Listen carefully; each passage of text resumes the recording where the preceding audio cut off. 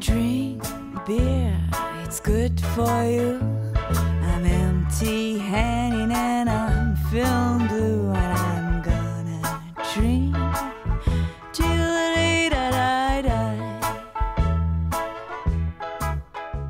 Hello and welcome to the video. In this video I will show you my easy method for bottom yeast harvesting. Okay, before we get started with the method there are a few rules I'm afraid that I have to enforce. The first one being that everything must be clean and sanitized. This of course is something we're all used to with beer brewing but it becomes totally essential when handling yeast. You don't want anything to go wrong here.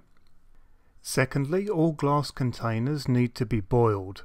I do this for about 10 minutes. And then lastly, all the water that we use needs to be pre-boiled and then allowed to cool.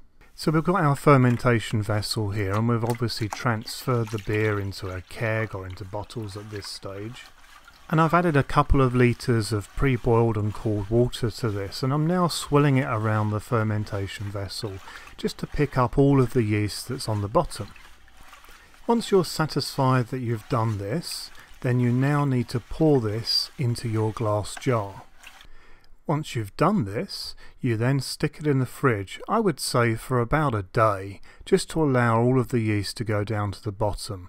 Some people do it quicker than this, but for me a day works perfect. I know all of the yeast is now out of suspension and at the bottom of our jar. Our yeast is the white line that you see between the liquid and the gunk at the bottom. So our task now is to get as much of that yeast as possible and as little liquid as possible too. To do this I have some items on the table here that are incredibly useful. The first is a separatory flask or funnel. This is perched on top of a piece of uh, kitchen glassware which is used for holding spaghetti. Then we have a lab plastic container which will hold the yeast and we have some tape. The sort of tape that you would use when decorating that's easily removed. Because my separatory flask is only one litre in capacity, I need to decant some of this very slowly before I begin. So now I've added a funnel to the top of the flask and what I'm going to do is gently decant all of this into the actual flask, being very careful not to add any of the trub at the bottom. You can see that already some of the yeast has started to settle at the bottom, but of course we want all of it down there. So for this reason we now leave this doing its thing for about 24 hours. Sadly I don't have space for this in my fridge, but I have placed it somewhere where cats and children and all sorts of other things can't get at it.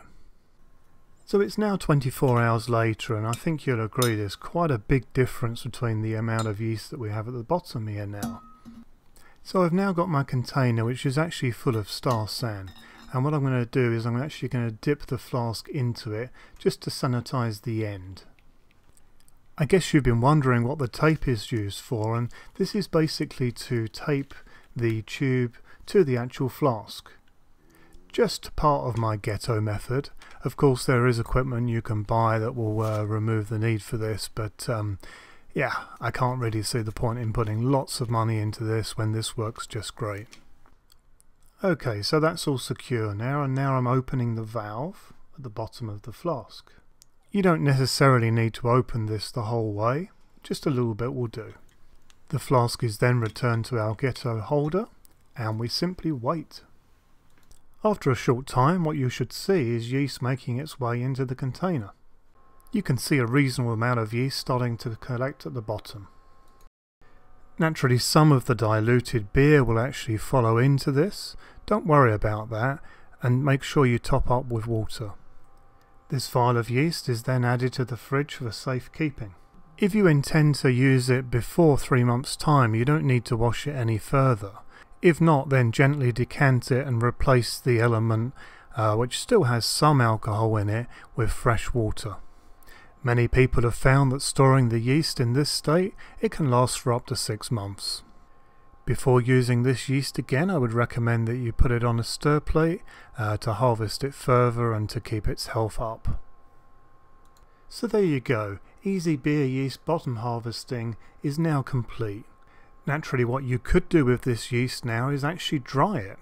Um, if you haven't seen it already, I do have a beer yeast drying guide as well.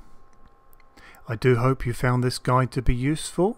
As always, if you have any questions, just pop them in the uh, text below the video on YouTube. So if you did like this video then please do go ahead and like it on YouTube. This really helps me out and allows the videos to be seen by a wider audience on YouTube. I've got a lot of videos in the pipeline for the future so if you're interested in uh, seeing what I've got coming up then please subscribe for future content. If you have any questions on anything that I've covered in this video or in others or anything to do with brewing in general then please do not hesitate to get in touch. I'm more than happy to help. Until then, happy brewing!